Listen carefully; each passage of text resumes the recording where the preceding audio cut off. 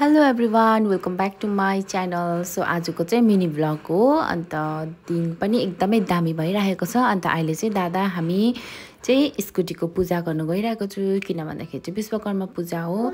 त्यो कारणले गर्दाखेरि चाहिँ हामी तिनैजना चाहिँ एक बिहान एक बिहानै भन्दा पनि आठहरू बजेको थियो होला। अन्त हामी जाँदैछौँ। दादा पनि ठिकै आइपुग्यो हो। सो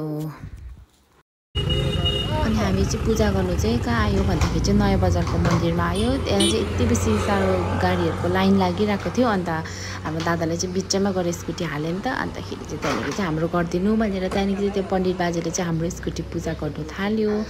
त्यहाँदेखि चाहिँ स्कुटी पूजा गर्दै थियो तर घाम चाहिँ यति डरलाग्दो लागिरहेको थियो। अन्तखेरि चाहिँ इभान चाहिँ पसिनासरी भइसकेको थियो हो। अन्तखेरि चाहिँ अरूहरूले पनि पुरा पर्खिरहेको थियो। मान किन भन्दाखेरि चाहिँ मान्छे यति साह्रो बेसी थियो हो। अन्तखेरि म चाहिँ हेर्दै बसिरहेँ।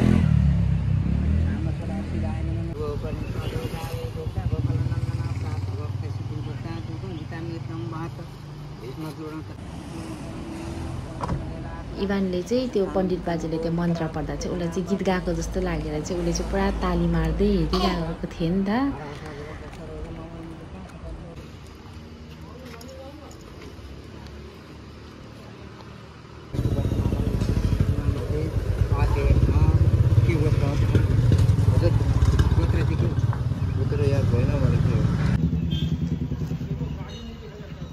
सिक्न म